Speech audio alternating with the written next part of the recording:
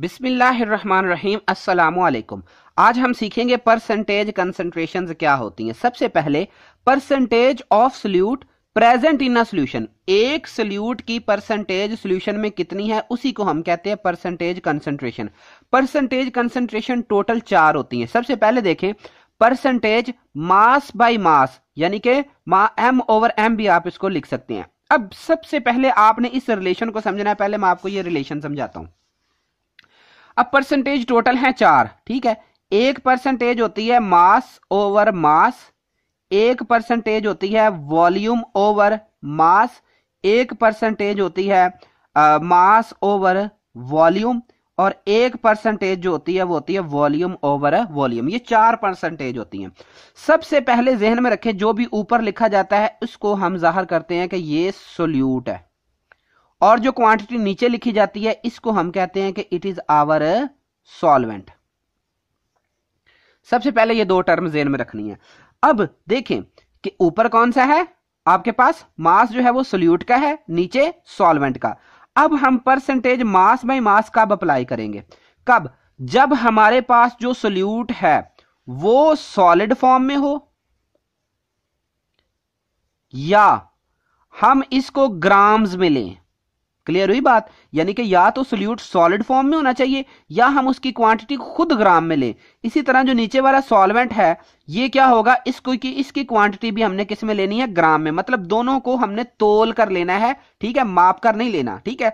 अब इसको देखें अब। ये क्या चीज़ है? ये किसको रिप्रेजेंट कर रहा है? सोल्यूट को। और ये वाली चीज़ किसको रिप्रेजेंट कर रही है? सॉल्वेंट को। अब आपने क्या करना है? सोल्यूट को आपने सेंटीमीटर क्यूब में लेना है, यानी कि मैयर करना है। ठीक है? किसी भी मयरिंग जो है, वो इंस्ट्रूमेंट से आपने मैयर करना है सोल्यूट आपने लेना है सेंटीमीटर में। तोलना नहीं है ग्राम्स में नहीं लेना, बल्कि किसमें लेना है? सेंटीमीटर में। ग्राम्स में लिया, इसका मतलब तोला। अगर आप सेंटीमीटर में ले रहे हैं तो इसका मतलब है कि मैयर करना, उसकी पैमाइश करनी है। और जो सॉल्वेंट है, वो आपने क्या लिया? ग्राम्स में लिया। अब यहाँ पर क्या किया आपने? ये सोल्यूट को रिप्रेजेंट कर रहा है। सोल्यूट आपने ग्राम में लिया, जबकि आपने जो सॉल्वेंट लिया है वो सेंटीमीटर क्यूब में, यानी कि माप के लिया। इसी तरीके से यहाँ से देखें, आपने सोल्यूट भी सेंटीमीटर में लिया और सॉल्वेंट भी सेंटीमीटर में लिया। यानी कि यहाँ पर किसी को जो है वो पमाइश नहीं दोनों की जो है वो आपने पमाइश की है, किसी को भी ग्राम्स में नहीं लिया। तो अब परसेंटेज मास बाय मास देखें it is number of grams of solute in hundred gram of solution percentage mass by mass किसका होता है? Mass of solute in grams divided by volume of solution in grams multiply by hundred अब देखें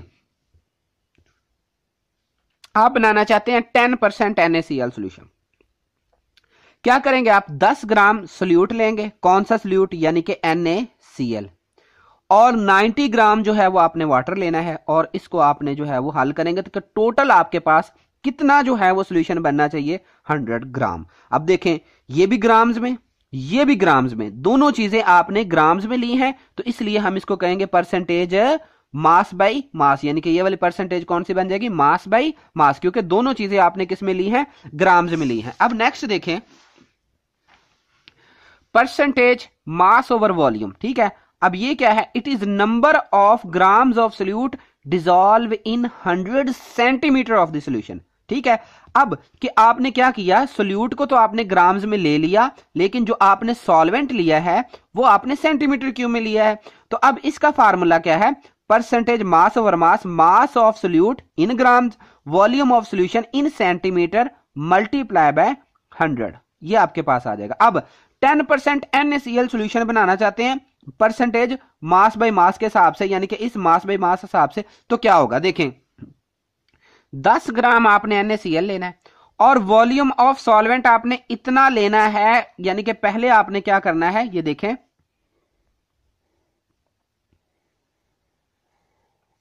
पहले आपने इसमें 10 ग्राम NaCl लिया और ऊपर से आपने वाटर ऐड करना शुरू कर देना ठीक है?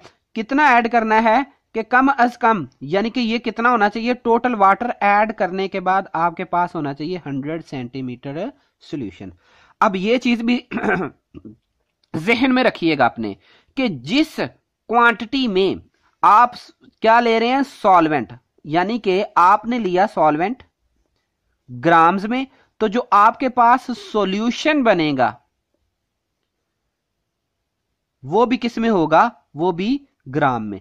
लेकिन अगर आपने सॉल्वेंट लिया सेंटीमीटर क्यूब में तो आपके पास जो सोल्यूशन बनेगा, वो भी सेंटीमीटर क्यूब बनेगा। अब देखिए, यहाँ पे हम ले रहे हैं volume of solution in centimetre cube so हमारे पास जो सोल्यूशन बनेगा that will be hundred centimetre cube percentage volume by mass V over M अब it is the volume in centimetre cube of solute dissolve in hundred gram of solution यहाँ पे आपने क्या करना है?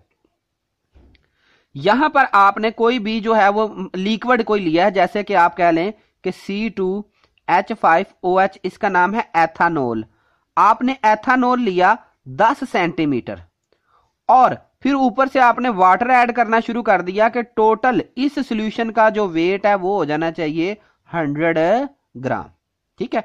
तो ये हमारे पास टेन परसेंट एथानोल का जो है वो हमारे पास सोल्यूशन बन गया। तो it is volume in centimetre of solute dissolve in hundred gram of solution तो परसेंटेज वॉल्यूम पे वॉल्यूम किसके इक्वल है? Volume of solute mass of solution multiply by hundred. अब वॉल्यूम हमने किसमें लिया सेंटीमीटर में, और मास सोल्यूशन किसने लिया हमने? ग्राम्स में। तो सोल्यूट इन सेंटीमीटर लेना है, प्लस सॉल्वेंट इन ग्राम्स लेना है, और आपके पास टोटल सोल्यूशन बनना चाहिए हंड्रेड ग्राम सोल्यूशन। अब परसेंटेज वॉल्यूम बाय वॉल्यूम में देखें, it is volume in centimetre of solute dissolve in hundred centimetre of the solution. अब इसमें आपने दोनों चीज़ें क्या की हैं? आपने सेंटीमीटर में ली हैं, ठीक है?